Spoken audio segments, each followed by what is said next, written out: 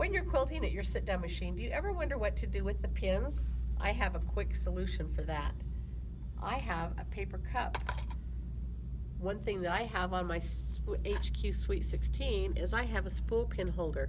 I've poked a hole in the bottom of my cup and I keep my cup up out of the way.